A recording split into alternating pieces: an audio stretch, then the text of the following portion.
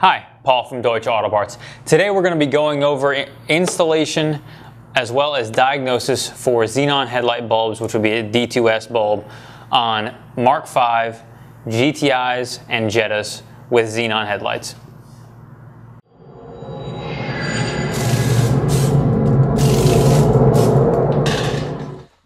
Here we are at the back of the headlight. This is happens to be the driver's side headlight. Uh, the cap here is going to be the low beam that's on the outer side. We're going to be doing this out of the vehicle only so that we can accurately show people how to do this with good detail. You can do it with the headlight inside the car, but you're, you're not going to be able to see much. Uh, so we can start by turning this large cap counterclockwise. It's about a quarter of a turn.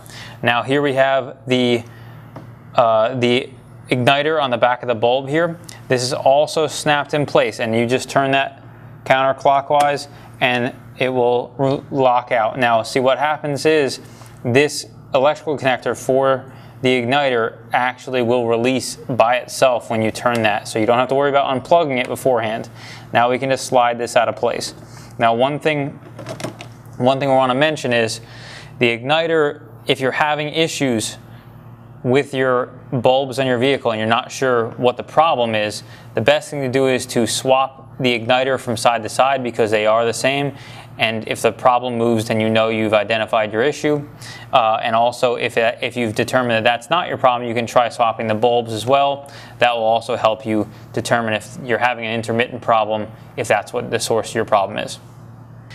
Now we have our igniter off, so to get our bulb out, all we're going to do is, there's a trim ring here that locks this bulb in place.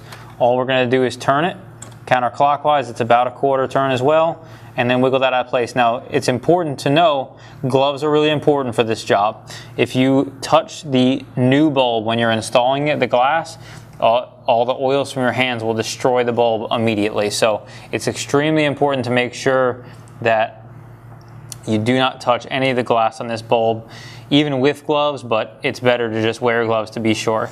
Now, something to be aware of with this bulb when you're reinstalling the new one is all these notches have to line up. So if we look inside the housing, there's gonna be a place for this.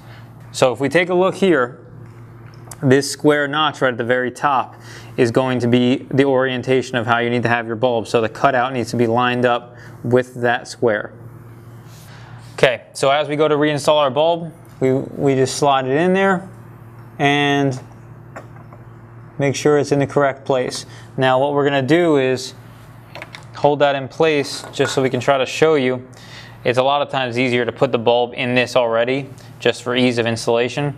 But this cap here has a writing on it that says top if this cap is not in the correct orientation, it won't seat in place and you're going to struggle and never be able to get your bulb back in place. So we can slide that on. And try to not block you too much here. Okay. Here we have our orientation where the bulb is seated properly and the locking cap is also seated properly. So all we're going to do is turn it about a quarter turn clockwise. Now you see it locks in place, it's very easy. The main, the most important thing is if everything's lined up, it's going to be easy to lock in place. You're not going to struggle, you're not going to have to really tighten it hard or anything. So just keep that in mind when you're doing that. Now, here's our igniter, and that goes in at that orientation like so. And again, all we do is turn it in place and then plug it in. Hmm. Careful you don't turn it out. And we can put our back cover on and we're all set. Thanks for watching. Be sure to subscribe and leave any questions, ideas, or feedback in the comments below.